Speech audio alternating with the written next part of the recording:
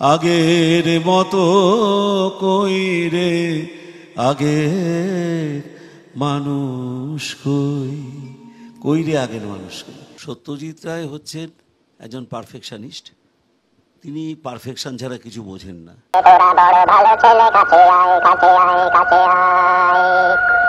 আপনি আমাদের নাম জানেন? সত্যজিৎ রায় প্রথমে গুপি গাইনের ভূমিকায় চেয়েছিলেন কিশোর কুমারকে। গায়ক আর অভিনেতা দুটো ভূমিকাতেই তিনি দিব্যি মানিয়ে যেতেন, তাতে কোনো সন্দেহ নেই, কিন্তু ঘটনাচক্রে ছবি তৈরির সময় শেষ অবধি এই দুটো ভূমিকাতেই মতের পরিবর্তন করতে হয়েছিল বা সিদ্ধান্তের পরিবর্তন করতে হয়েছিল পরিচালককে, যার ফলে দুজন নতুন প্রতিভা কিংবদন্তি পর্যায়ের খ্যাতি অর্জন করতে পেরেছিলেন। কিশোর কুমার শেষ পর্যন্ত কেন গোপীগাইন বাঘাবাইন ছবিটির অংশ হতে পারলেন না, সেই ঘটনা জানার জন্য আজকের এই ভিডিওটি সম্পূর্ণ দেখতে হবে। সঙ্গে থাকুন, ভিডিওটি ভালো লাগলে লাইক করুন, শেয়ার করুন, চ্যানেলটি সাবস্ক্রাইব করুন। গুপিগাইন বাঘাবাইনের কাহিনীটি এমনই একটি কাহিনী ছিল যে সত্যজিৎ রায়ের প্রথম সমস্যা হয়েছিল যে এই ছবির জন্য তিনি প্রযোজক খুঁজে পাচ্ছিলেন না। কারণ এমন একটা বিষয়ের উপরে ছবি হচ্ছে জানার পরে সেভাবে কেউ উৎসাহী হচ্ছিলেন না এই ছবির প্রযোজনায় এগিয়ে আসতে। কিশোর কুমারের পুত্র অমিত কুমারের একটি ইন্টারভিউ থেকে জানা যায় যে এই ছবিতে অভিনয় এবং গান গাইবার ব্যাপারে কিশোর কুমারের সঙ্গে প্রাথমিক কথাবার্তা হয়েছিল সত্যজিৎ রায়ের। আর কিশোর কুমার সত্যজিৎ রায়কে অসম্ভব শ্রদ্ধা করতেন, তার ফ্যান ছিলেন তাও বলা যেতে পারে।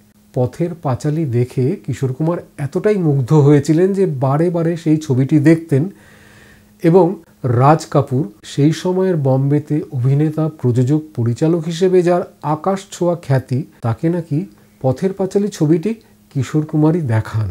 আর ঘটনাচক্রে গুপিগাইন বাঘাবাইন ছবির জন্য যখন প্রযোজক খুঁজে পাচ্ছেন না সত্যজিৎ রায়, তখন রাজ কাপুর রাজি হয়েছিলেন তার আর কে ফিল্মসের ব্যানারে এই ছবিটি প্রযোজনা করতে। কিন্তু কিছু শর্ত ছিল তার।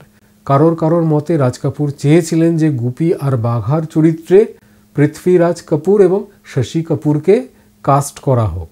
আবার কারোর কারোর মতে রাজ কাপুর চেয়েছিলেন যে সত্যজিৎ রায় তার প্রোডাকশন হাউসের জন্য অন্য আরেকটি ছবিও পরিচালনা করুন, যেটি কমার্শিয়াল ধাঁচের ছবি হবে এবং তাতে কাপুর পরিবারেরই কাউকে নায়ক করা হবে। তো যেটাই হোক, এই দুটি প্রস্তাবের কোনোটিতেই সত্যজিৎ রায়ের পক্ষে রাজি হওয়া সম্ভব ছিল না। তাই শেষ পর্যন্ত গুপিগাইন বাঘাবাইনের প্রযোজনা করেন কলকাতারই এক প্রযোজক। তবে এই যে প্রযোজক খোঁজার কারণে অনেকটা সময় চলে যায়, সেই সময়ের মধ্যে একদিকে কিশোর কুমারের ব্যস্ততা বেড়ে যায় এবং সত্যজিৎ রায় এটাও খেয়াল করেন যে কিশোর কুমার বেশ ভারী হয়ে গেছেন চেহারার দিক থেকে। তার কল্পনায় গুপির যে চরিত্র বা চেহারা, তার সাথে কিশোর কুমারের এই চেহারাকে মেলানো সম্ভব হচ্ছে না। তারপরেই গুপির চরিত্রে আমরা পাই অভিনেতা তপেন চট্টোপাধ্যায়কে, যিনি এই একটি চরিত্র করার কারণেই চলচ্চিত্রের ইতিহাসে অমরত্বের দাবিদার হয়ে গিয়েছেন। এবারে গানের প্রসঙ্গ। গানের ক্ষেত্রেও কিশোর কুমারের ব্যস্ততার কারণেই শেষ অবধি গায়ক পরিবর্তন করতে হয়েছিল সত্যজিৎ রায়কে। কারণ গুপির কণ্ঠ বলে আমরা যাকে জানি, শ্রী অনুপ ঘোষাল কিছুদিন আগেই যাকে আমরা হারালাম, সেই শিল্পীর নিজের বয়ানে সত্যজিৎ রায় একটা নির্দিষ্ট মেথডে গানগুলোর প্রস্তুতি করতে চেয়েছিলেন। কারণ এখন যেমন ট্র্যাক সিস্টেমে রেকর্ডিং হয়, তখন তো উনি তো তা করবেন না। উনি হচ্ছেন ফুল অর্কেস্ট্রার সঙ্গে। উনি নিজের যা স্কোর করতেন, তৈরি করতেন নিজের হাতে। সেই স্কোর অনুযায়ী মিউজিশিয়ানরা বাজাতেন ফ্লোরে প্রায় পঁয়ত্রিশ থেকে চল্লিশ জন মিউজিশিয়ান থাকতেন, তারা বাজাতেন আর গায়ক গান করতেন। আমার যখন হীরক রাজার দেশে হলো তখনও দেখলাম বাইশ দিন মানে আমাদের রিহার্সাল হয়েছিল। গুবি গান বাহবানের সময় তো প্রায় মাসাধিককাল রিহার্সাল হয়েছিল। উনি পিয়ানো বাজি বাজি গানগুলোকে তোলাতেন, পাশে রবি ঘোষ থাকতেন। তো এইভাবে টানা রিহার্সাল দেওয়া গানের জন্য মিউজিশিয়ানদের সঙ্গে লাইভ রেকর্ডিং করা রেকর্ডিং স্টুডিওতে এই সবের জন্য সময় বার করা সেই সময় কিশোর কুমারের পক্ষে সম্ভব হতো না। এটা বাস্তব ঘটনা। কিশোর কুমারের মতো অনুপ ঘোষালও কিন্তু পারিবারিক সূত্রেই সত্যজিৎ রায়ের পরিবারের ঘনিষ্ঠ ছিলেন এবং সেই সুবাদেই সত্যজিৎ রায়কে তিনি তার গান শোনাবার সুযোগ পান। আর আরেকটা হচ্ছে রিহার্সাল। Practice makes perfect. এটা উনি বিশ্বাস করতেন। আর কাল্টিভেশন ছাড়া যে কোনো কাজ হয় না, হতে পারে না। কারণ প্রতিভাটা শিক্ষা নিরপেক্ষ দেবদত্ত শক্তি নয়। প্রতিভা হচ্ছে শিক্ষা সাপেক্ষে এটা দেবদত্ত শক্তি। কাজেই সত্যজিৎবাবু যে কোনো ছবির গান আমাকে দিয়ে অন্তত গুপি গান বা খাবার তখন আমি অনেক ছোট ছিলাম। তাই শেষ অবধি কিশোর কুমার যদি গুপি গাইনের চরিত্রে অভিনয় করতেন বা গুপি গাইনের গান গাইতেন, তাহলে চরিত্রটা কি হতো? এই ব্যাপারে হয়তো কিছুটা কৌতূহল থাকলেও থাকতে পারে, কিন্তু কিশোর কুমার এই চরিত্র করেননি বলে সত্যজিৎ রায় তার কল্পনায় গুপিকে যেভাবে ভেবেছিলেন, গুপির কণ্ঠকে যেভাবে কল্পনা করেছিলেন, সেই জায়গায় কিন্তু তার ছবিতে কোনো খামতি ছিল না। দর্শক হিসেবে তাই আমাদের আফসোস করার এক বিন্দুও জায়গা নেই।